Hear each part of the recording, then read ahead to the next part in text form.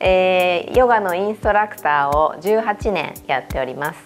で自宅にスタジオがあって地域密着で地元の方を癒しているのが、えー、通常のレッスンです。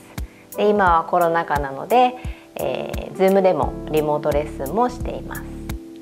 えー、本当に単純なんですけどマドンナがとても好きでで彼女があんなにあのこうパンクな感じなのが急に瞑想するようになったりオーガニックの、えー、食事とかするようになったのもヨガに出会ってかららしいんですね。でヨガって何だろうなっていうのを検索してみたら、えー、地元にヨガ教室があったので、えー、そこに体験入学して、え、その日に入会しましたその時初めて瞑想をしたのでその感覚が今までにないなんかとっても心がすっきりするような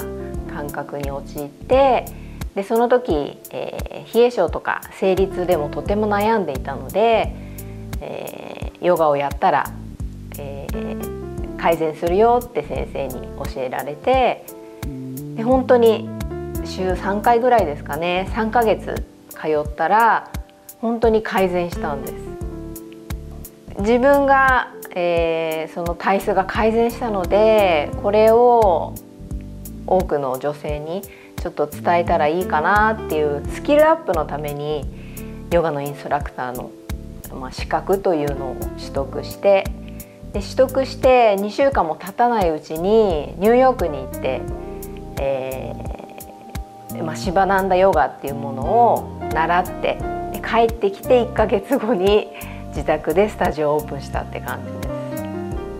えーと、日本でやってるのも変わらないですけれどもまだ全然日本にヨガが入ってない時だったので、えーまあ、パワーヨガというアメリカで始まったヨガを習いに行ったっていう感じですね。えー、っとまあパワフルなパワーヨガはもともとないものでアメリカでパワーヨガを発祥したっていう感じ。えー、っとまあ自然派にこだわっているので塩浴というのに出会ってあのただ塩水を体に流してさするだけの方法なのでもう髪の毛も体も洗いませんただ塩水で体を締める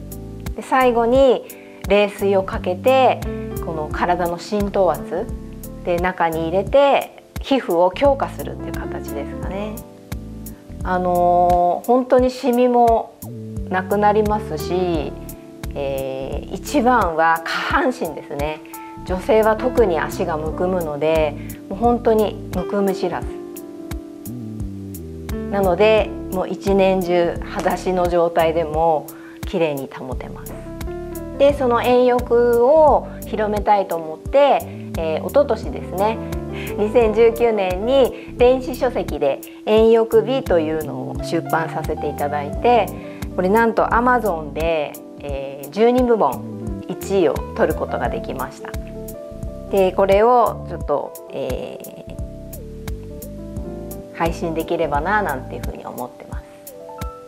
えー、まあ、ヨガのインストラクター18年やっておりますのでヨガはとても呼吸が大切です。で、まあ、呼吸というのはただなんとなく皆さんしているだけで教科書とかにも載ってないですし学校でも教えてくれないので、まあ、呼吸教育というのを全世界に発信できればなと思ってます。